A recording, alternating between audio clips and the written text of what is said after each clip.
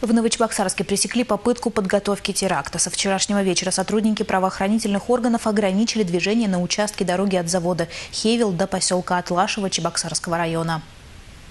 Информацию о том, что в Новочебоксарске происходит что-то странное, жители города-спутника стали получать еще ночью. Кому-то пришли сообщения о том, что в городе пожар и необходимо закрыть окна, кому-то о том, что закрыт въезд в город. В полночь прислал мне друг видеозапись с одного портала, то, что перекрыли въезд в Новочебоксар со стороны Марпасада. Естественно, это вызвало какие-то вопросы. Рядом находится Химпром, я живу рядом с таким предприятием. То, что въезд перекрыли рядом с ним, э, очень как-то пугает э, наших граждан. И мне кажется, что все обеспокоены этим событием.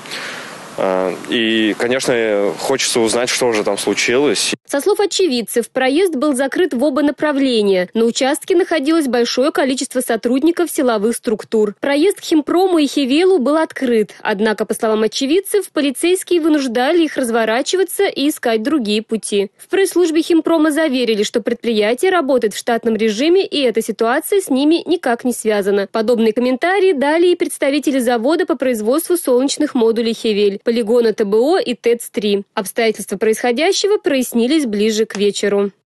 Следственными органами Следственного комитета Российской Федерации по Чувашской Республике возбуждено уголовное дело по признакам состава преступления, предусмотренного частью 1 статьи 30, пункт В, части 2 статьи 205 Уголовного кодекса Российской Федерации по факту приготовления к совершению террористического акта.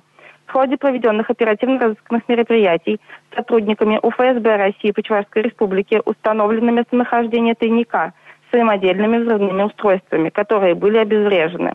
Следственная группа Следственного управления совместно с сотрудниками УФСБ и МВД Почувашской Республики продолжает работать на месте происшествия.